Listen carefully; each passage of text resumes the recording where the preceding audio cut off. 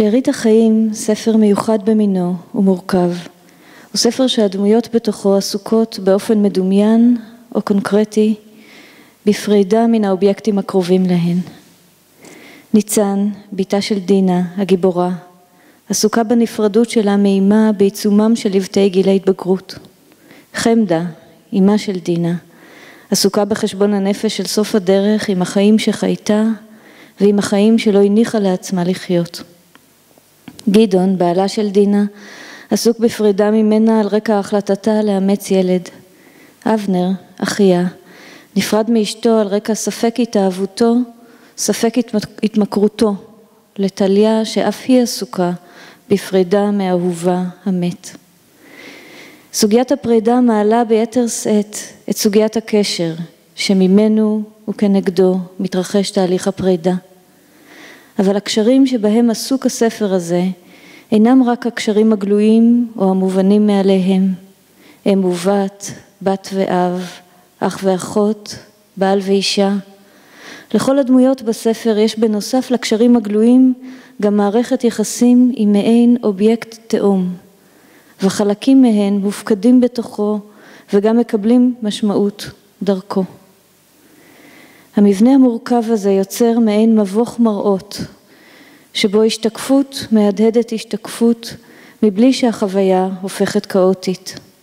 אדרבה, המורכבות מצלילה את הבבואות, מאפשרת לכל דמות לזכות ברובד נוסף באמצעות בבואת התאום שלה, ולהיות נוכחת בטקסט בדרך זו לא רק כמי שהינה, אלא גם כמי שיכולה הייתה להיות. אני רוצה להתחיל בכמה מחשבות שלי על השימוש באחר כעד, ואחר כך לחזור לספר שארית החיים ולהדגים את הדברים האלה גם מתוכו. חומרים טראומטיים הם חומרים המפעילים בנפש תהליך של עיון עצמי. חומרים שהחומציות שלהם מאיימת לעכל את הנפש עד כדי מחיקה מוחלטת של הסובייקט כאני חווה ומרגיש. במצב שבו הסובייקט עצמו מעוקל על ידי זיכרונותיו, סיכויו היחיד טמון באפשרות להעביר את החומרים הטראומטיים תהליך עיכול בתוך סובייקט אחר שלא ניתן לעיינו. זו בעצם המשמעות של תהליך מסירת עדות. אולם באיזה אופן אנחנו משתמשים באחר כעד? מתי אנחנו משתמשים בעדות של האחר באופן שעוזר לנו להעביר את הזיכרון הטראומטי, טרנספורמציה בתוכנו, לעומת מתי אנחנו משתמשים באחר דווקא כדי לשחזר את הטראומה ולחזור עליה. אני רוצה להבחין בהקשר הזה בין שלושה אופנים של שימוש באחר כעד. השימוש הראשון הוא השימוש המטאפורי באחר. הכוונה היא לשימוש המאפשר באמצעות החיבור עם האחר את התנועה המדומיינת בין קולו של הקורבן וקולו של העד. תנועה המכוננת עצמי רפלקטיבי בצד העצמי החווה. נוכחותו של האחר מאפשרת במקרה של השימוש מן הסוג הזה תנועה בין הגוף הראשון של החוויה לבין הגוף השלישי שלה ויצירת מרחב שבו יוכלו הזיכרונות הטראומטיים לעבור טרנספורמציה ולקבל משמעות חדשה. אופן השימוש השני הוא אופן שאני קוראת לו השימוש המטונימי. זהו שימוש באחר לא על מנת להעביר את הזיכרון הטראומטי טרנספורמציה, אלא על מנת לחזור על החוויה הטראומטית עצמה, כצורה של שימור הזהות ושימור החיבור אל העצמי. לעומת אופן השימוש המטאפורי המאפשר תנועה בין הגוף הראשון והגוף השלישי של החוויה, השימוש המטונימי ממקם את מסירת העדות בתוך הגוף הראשון של החוויה בלבד. זהו שימוש הבא לידי ביטוי בהפעלה של אפיוני החוויה הטראומטית גם בתוך הקשר. הוא יעורר את תחושות הבידוד, הקיטוע והיעדר הפשר האופייניות לחוויה הטראומטית גם בתוך המרחב האינטר-סובייקטיבי, ובמובן זה ידגים בצורתו את החומרים שעליהם הוא מעיד. השימוש המטונימי הוא למעשה שימוש המשתק את העמדה המתבוננת, הן של העצמי והן של האחר. שימוש המפעיל את הסיפור מבלי יכולת לספר אותו. כלומר משמר רצף עם החוויה בלי לחרוג ממנה. כל חריגה לעמדה מתבוננת, בתוך אופן השימוש הזה, נחווית כשסע בין האדם לבין האחר ובין האדם לבין זהותו. האופן השלישי של השימוש באחר, לעומת שני הקודמים, הוא אופן שאיננו מאפשר לא טרנספורמציה, כמו השימוש המטאפורי, ולא חזרה, כמו השימוש המטונימי. זהו שימוש פסיכוטי באחר, כאופן של חציצה בין האדם לבין החוויה הטראומטית, כמו גם בינו לבין עצמו. ניתן לזהות גילויים מגוונים של אופן השימוש הזה, של האחד באחר, בתוך תיאורי דמויות ניצולים, בתוך ספרות הדור הראשון של ניצולי השואה. דמויות המייצרות עם עצמן ועם סביבתן סוג של שיח ספק פסיכוטי, ספק אוטיסטי, שיח המאיין אותן כסובייקטים במטרה למנוע מהן כל מגע עם המציאות הנפשית ועם הכאב הבלתי נסבל הכרוך בחיבור אליה.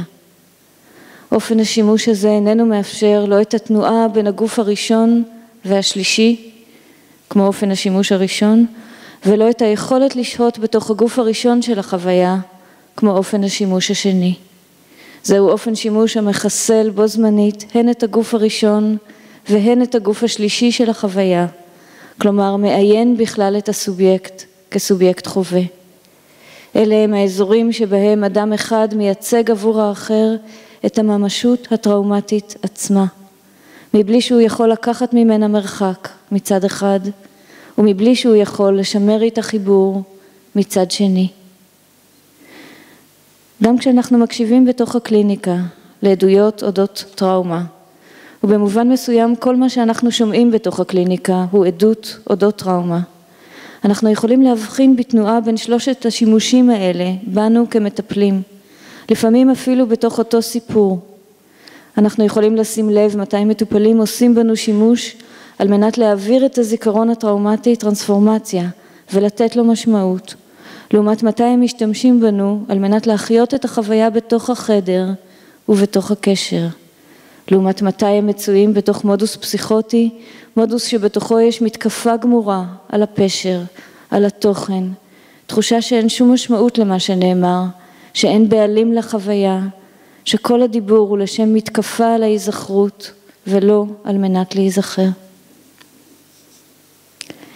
הספר שארית החיים איננו עוסק בפוסט טראומה במובן המקובל שלה, אבל הוא ספר העוסק באופנים שונים של מתן עדות, עדות על העבר, עדות על המהלכים המורבידיים, השרירותיים לעיתים, שיצרו החיים על פיתוליהם. כמו שאמרתי קודם, לדמויות השונות בספר יש אובייקטים שהן משעתקות חלקים שלהן לתוכם. לניצן, בתה של הגיבורה, יש אח תאום שלא נולד.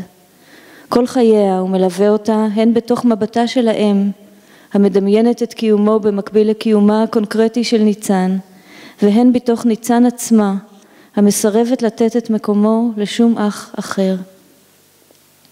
דינה, הגיבורה, משחקת לאורך העלילה עם בבואות שונות ומתחלפות, המשקפות חלקים שונים של עצמה.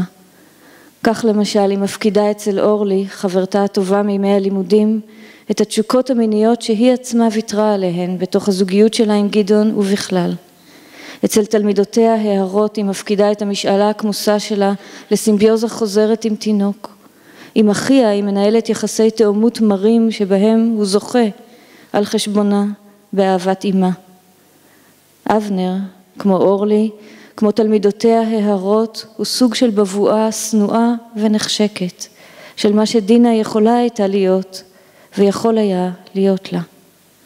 אך גם לאבנר עצמו יש אובייקט תאום. האובייקט הזה הוא רפאל, מדען גוסס שפגש באקראי ביום האחרון לחייו ושבבואתו החיה הוא מבקש להיות.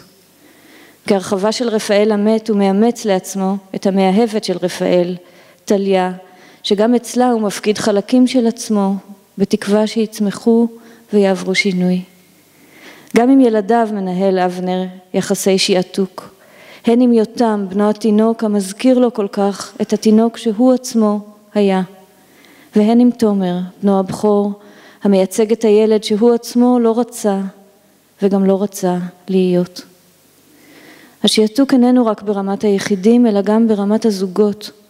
לזוג אבנר ושלומית יש למשל זוג תואם הפוך, שהם רפאל וטליה, אבל גם זוג תואם זהה, שהם רפאל ואלישבע, אשתו שאיתה ניהל יחסים ללא אהבה ושבה בגד.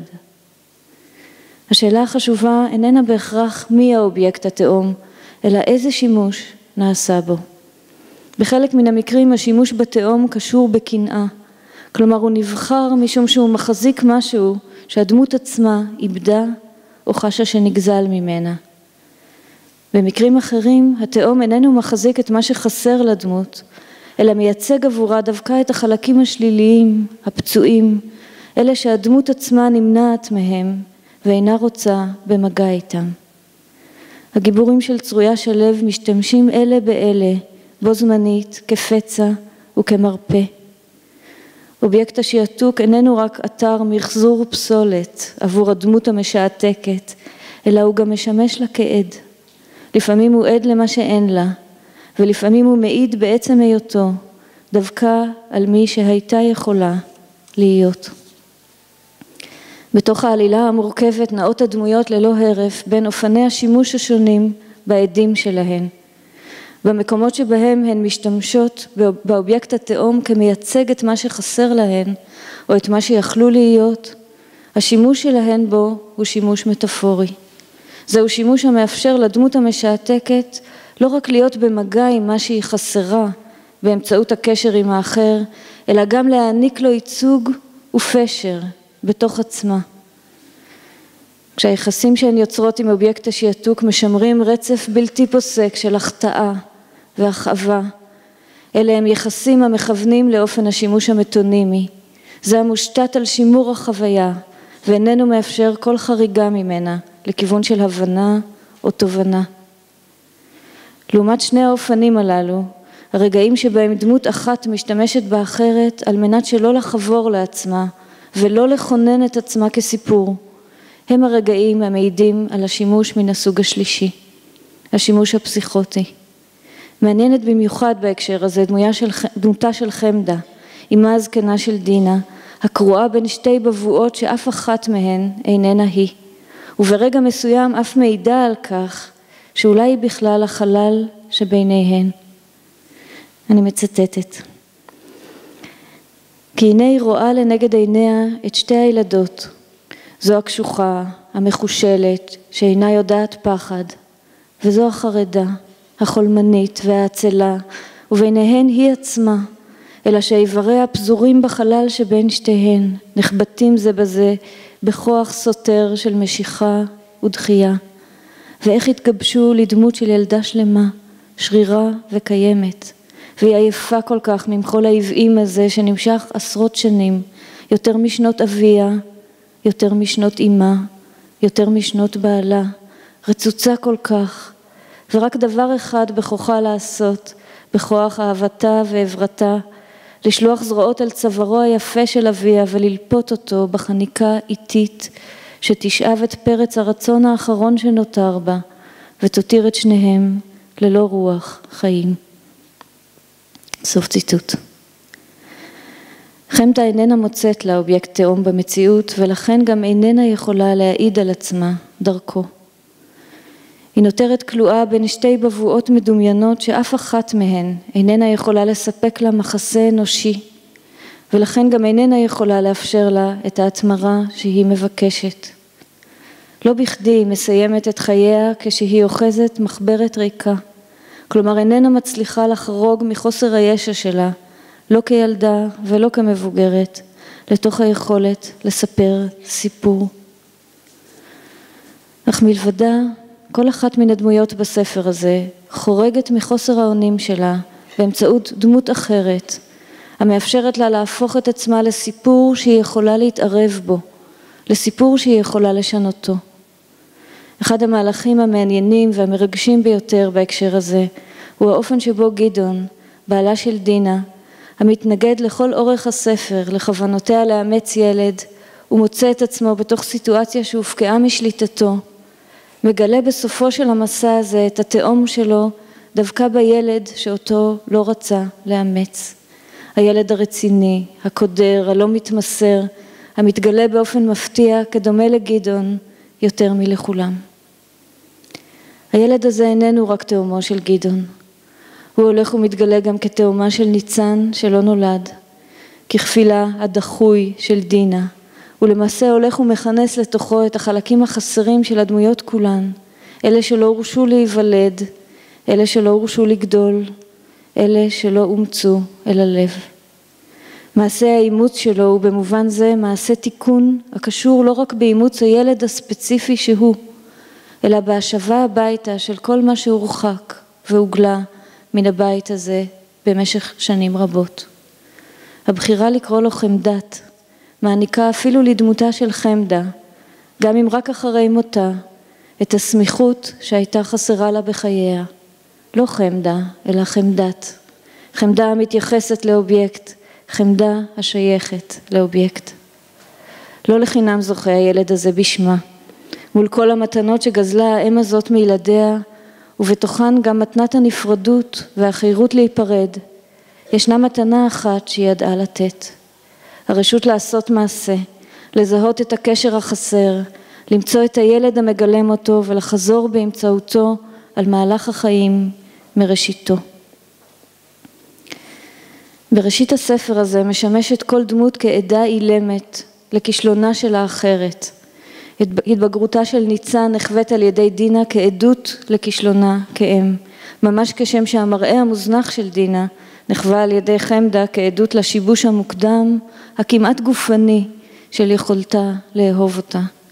באותו אופן מעיד תומר בשומניו, במוזרותו, בבדידותו, על כישלונו של אבנר לאהוב ולהאהב, וגם אבנר עצמו מעיד בהרסנות שלו כלפי עצמו וכלפי חייו, על כישלונה של אמו, שהרי לו הייתה האהבה העצומה שרחשה לו, אהבה בריאה, היא מן הסתם הייתה מצמיחה גם אותו כאיש שיכול לאהוב. בתוך מסע הפרידה של הדמויות השונות, לא רק זו מזו, אלא גם זו באמצעות זו. הן עוברות טרנספורמציה ממעמד של קורבנות חסרי ישע או עדים אילמים למעמד של גופים מדברים בפני עצמם. כל אחת מהן זוכה בעצמה מחדש. כל אחת מהן מחלצת מתוך אוסף הפעולות המוכניות שאפיינו אותה דרך להביא את עצמה לידי ביטוי באמצעות אקט של בחירה ושל חיים. ילדיה הבוגרים של חמדה שבים לביתה לא על מנת להעיד על כישלונה ולא על מנת למחול לה עליו. הם שבים אל המקום שבו יוכלו להעיד על נקודת ההתחלה שלהם עצמם, על מנת שיוכלו לשוב ולצאת מתוך נקודת ההתחלה הזאת ומתוך עמדת העדות העשירה שהם מאמצים בתוכה, שנית או אולי לראשונה לדרכם. תודה.